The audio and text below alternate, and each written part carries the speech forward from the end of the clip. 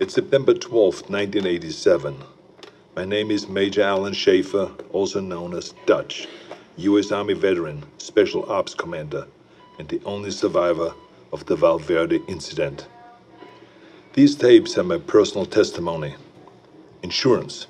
Should anything happen to me, what I found won't be lost. My team was brought in to rescue a Guatemala cabinet minister and his aide, who had been captured by guerrilla forces in Valverde. We located the downed helicopter, and the skinned bodies of those aboard hung in nearby trees, seemingly at the hands of guerrilla fighters. After assaulting their camp, it became clear that the mission was a setup. American intelligence had sent us to retrieve the captured agents who had been on recon for future military action. But none of that matters, because while we were clearing out the guerrillas, something was hunting us. An invisible killer tracked us as we made our way to the extraction point. In 24 hours, it wiped out my entire team.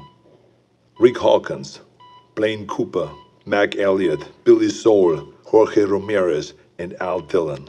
The best soldiers I've ever known. Men I trusted with my life were butchered like animals. It was a nightmare. We walked in with guns, but it had perfect camouflage, advanced weaponry, and could see heat. It was strong and smart, a pitiless hunter. I waited, I watched, and when I understood it, when I saw how it hunted, I killed it. As it lay dying, in a final fuck you, it activated an explosive device. I barely escaped that blast. My radiation sickness and the crater of the explosion are the only evidence it ever was here. I have given my official statement to Agent Peter Keyes of the OWLF, but it's become clear I needed to investigate Valverde myself. Keyes was thorough, but he asked all the wrong questions. I mean, we have proof of alien life, but that life sees us as game. It's an alien whose first contact with humanity was to hunt us for sport. All Keyes cared about was the technology lost in the explosion. He can see the jungle for the trees. I see the threat. He sees the opportunity. Spies are all the same. I mean, we aren't people to them. We are assets. How many soldiers will he feed to those monsters just for a chance to steal from them or to learn from them? The government can't be trusted. So I will have to do this on my own. I'm cutting my treatment short and going off the grid. I will make my way back to South America to Valverde. I was told that there were stories about demons who make trophies of man. I'd like to hear those stories. April 8th, 1991. I'm not dead yet. I'll admit, I regret not curing my radiation sickness before I left. It made leaving the country difficult. I cashed in a few favors, took one too many off the book flights in rusted out buckets, but I made it back to Valverde. The area was on lockdown, sealed by American intelligence for study. The complex centered on a crater from the alien self destruction. I found the scientist slumming in a local bar. A few drinks, a couple of threads later, he was ready to talk. It wasn't much, barely anything I didn't already know. The blast emitted a form of radiation they'd never seen before. Some believed it was extraterrestrial, some didn't. Either they're not too bright or there's nothing to find. I decided to let them keep searching in vain. It kept them busy and off my trail. I've been touring villages and small towns using the cover of an author writing about South American folklore. I don't know if any of them bought in, but they took my money and told their stories. The closer they were to the jungle, the more stories of devils in the trees. Some were bullshit, made up on the spot, but some carried consistencies that I couldn't ignore. Whatever it was, the demons who make trophies of man, the devil of the trees, or the skull taker, the stories always began on the hottest summer that they could remember. In the summer of 1987, Valverde nearly broke its all-time high in temperatures. They love the heat. It must remind them of home. Everything else confirmed the truth of the stories. Proud warriors skinned and hanged, skulls and spines ripped from their bodies. Maybe it was obvious from the beginning, but it wasn't until I heard the stories that I truly accepted the purpose of these mutilations. I mean, they're taking trophies. They travel impassable distances to hunt us, skin us, and mount us over some alien fireplace on another world. It would be disgusting if it weren't so familiar. Where do I go now? It's been on my mind all year. The takeaway from all this intel is that they've been doing this for decades, centuries maybe. They're coming back, and I need to be there when they do. June 27th, 1992. It's hard to remember that the most important part of an operation is patience. You can plan the perfect op, but you can't account for everything. If shit goes south, there's nothing to do but to adapt and finish the mission.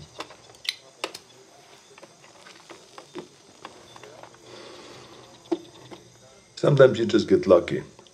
I was in the dock, 10 clicks downriver from the Valverde border, figuring out my next move. I was ready to pack it in. I mean, I thought that I'd learned everything that I could, that there was nothing left for me to find.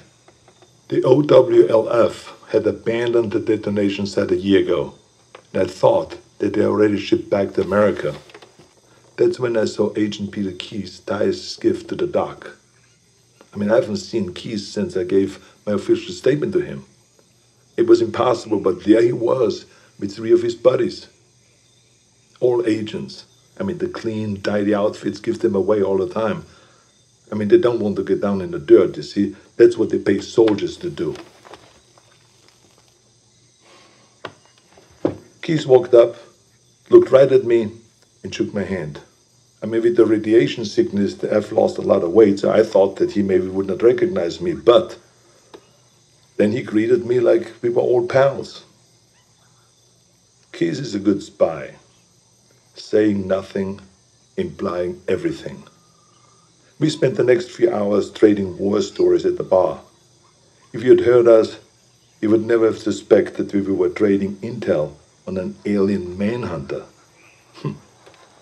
His cover was that they have been looking for a serial killer, a sadist who has been operating in the area for years hunting people like animals and then skinning them alive. Keyes wanted to talk about the monster, so it all came out in the cover story.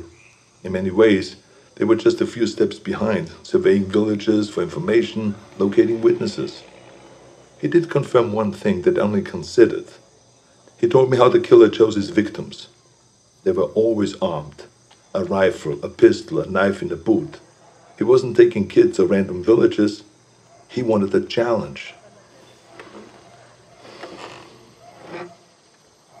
Whatever it was, it was a hunter. And it killed, it killed for sport. I wish they were here for a military action, recon for an invasion. But the truth was so much worse. We are prey, animals, fit only to be hunted. Keyes and his buddies paid the tab and mine, but before he left, he winked at me and he said, Stay out of the jungle. That's where he gets you. I tracked Keyes and his team for weeks, but they didn't learn anything new. Maybe they knew that I was there, maybe they didn't, I don't know. I've risked enough for now. I think it's time to disappear. Keep my ear to the ground. Be patient. March 3rd, 1996, Zaire. I thought I could wait. I thought that I could hold back and make my move at the right time. I couldn't. Fuck.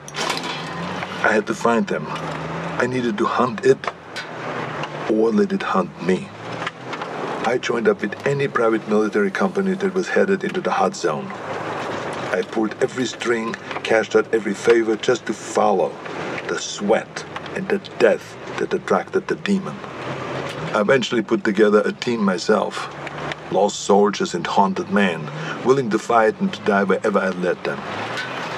They thought that I was a legend, and I let them believe that. I'm quiet and good in what I do. They needed them to see me as a legend, so that they could take them to die in a sweltering jungle. We went on more missions than I can remember. We didn't fire until we were fired at. They thought that it was my code. It wasn't. I was waiting and watching. Our last mission was an evac up in the Congo. A private munition base had gone dark. When we arrived, they'd been dead for days. Bodies strung up on floodlights around the base, all of them skinned, some missing skulls and spines. We secured the site and waited for backup to arrive. In the heat of the day, I stared into the waves of heat coming off the concrete, thinking that any minute they might come alive as the invisible killer. And then they did. I didn't wait. I unloaded every round I had. Trusting me, my team fired in the same direction. It wasn't the first time I'd done it but this time I knew what I was looking for. It was so fast, we couldn't hit it.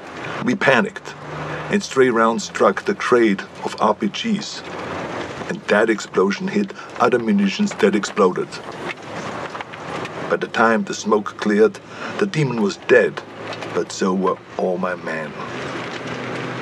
I took samples of its blood, pieces of its anatomy, and what tech that I could salvage. And then I burned everything. Then it disappeared. I never checked in mid HQ. As far as I know, I was counted among the dead.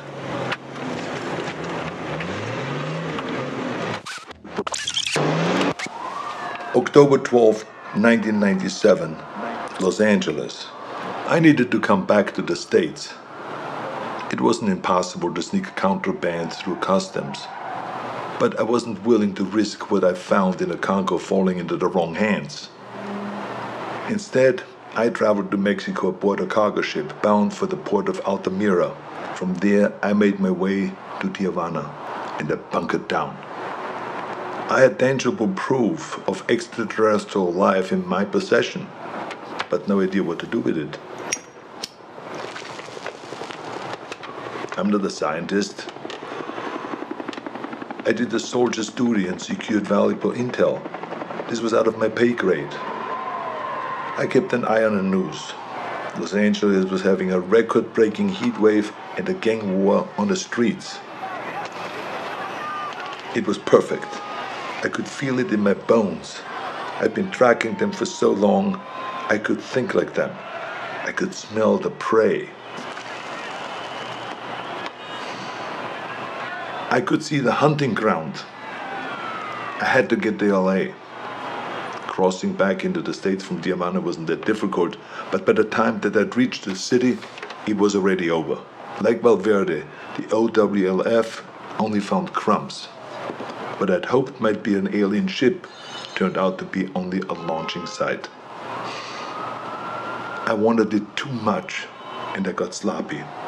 I breached the OWLF's quarantine and was captured. I'd hoped to be bailed out by Agent Keyes, but he died. With Keyes gone, the OWLF was leaderless and disorganized. I was interrogated, but then negotiated my release by bartering the alien materials that I'd recovered from the Congo.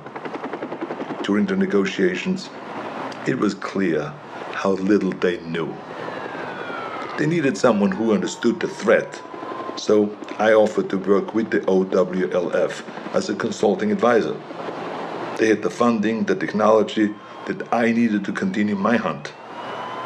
I wouldn't work for them, but I would work with them. There will be a weapon that I can use to hunt down these predators as they move to fresh ground. It's only a matter of time until they see us as a real threat. When the prey can fight back, it's no longer a hunt. It is war. March 3rd, 2008. We've gotten good at killing predators. Every time we find one, we come back with more tech, more research, and the OWLF's funding goes up. Together, we have gotten stronger and more efficient. For a time, the aliens were surprisingly predictable. They had no idea that we knew so much about them. But that began to change. They sent better hunters every time. They're beginning to see us as a threat. Or we've become a more worthy prize. Maybe both.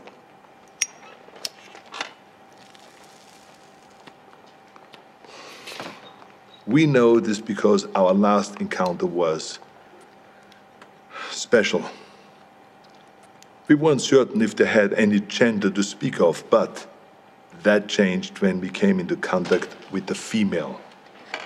She was smarter and deadlier. She didn't fuck around like the males did. She was direct, ruthless, and skilled. I was in Laos when we first came into contact with her. It was Valverde all over again. Her ambush wiped out my entire team. Only this time, she got me. In a small village, I lost track of her, just long enough for her to pin me with a razor net. Pinned against the wall, razors cutting into my face. I've been fighting for so long, I was ready to die. I should be dead. Instead of making the kill, she cloaked and vanished into the jungle. The net relaxed, and I escaped with my life, and a scar to remember her by. She spared me, only me, like she knew who I was. I returned to the exfil, my first failed mission in a long time. Are we going about this wrong?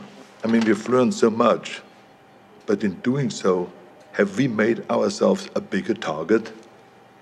I can't stop thinking about something Napoleon said. You must not fight too often with one enemy, or you will teach them all your art of war. I started this believing that we were learning how to hunt them, or maybe she let me live to just be hunted another day. We were teaching them how to hunt us. January 13th, 2019. I knew that the Predator's deployment to Earth would make it impossible to keep all of this a secret. Sooner or later, there would be another player on the board. I'd hoped that it would be another agency, one that understood and respected the threat. Project Stargazer. Our initial intelligence on Stargazer was that they were capable, funded, but inexperienced. But they were smart. They took the OWLF's funding and got it shut down. Everyone we could identify in their group was a disavowed member of another agency, including the OWLF.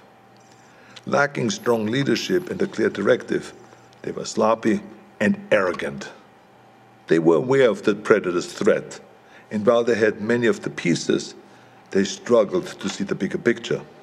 Stargazer was so far behind that we didn't see them as a threat until the event in Mexico. The recovered Predator escape pod was an extraordinary find for Stargazer, but the death toll was a heavy price to pay for taking a Predator captive. My task force has many directives, but one of the most primary is we do not take captives. Retrieve technology, corpses, and other intelligence. But there's no value in a live predator, only liability. The enemy does not want peace, the enemy does not negotiate. Its only drive on earth is to hunt. What we might learn from a captive predator would never be worth the risk to our people. Stargazer didn't learn from their mistakes, and the technology they've recovered has only made them cocky. When the government cut ties to the agency, it should have shuttered their project permanently, but they only shifted their goals. Guerrilla factions and private military companies are being contracted by Stargazer to set out bases and equipment in locations that we have identified as ideal hunting grounds. We believe that the former intelligence project is setting itself up to be a fully independent dealer of otherworldly arms. This is the worst case scenario. Hostile forces will use those weapons on their enemies and they will use them on us. All the while, the true enemy stalks us unseen. It's a distraction mankind can't afford. Stargazer will have to be dealt with. 2025. It's hard to believe that I'm still here recording this. I probably shouldn't be smoking in the med bay, but fuck it, it's my birthday, for Christ's sakes. I turned 78 today, but I'm out there hunting. I should be retired. I should be doing anything but this. My life shouldn't be possible. But the very thing that I hunt, that hunts me, is what's keeping me alive. As we began to understand the predator's technology, we started to use it. A fight with a predator female went bad and I was critically wounded. Dying, I agreed to experimentation. It worked.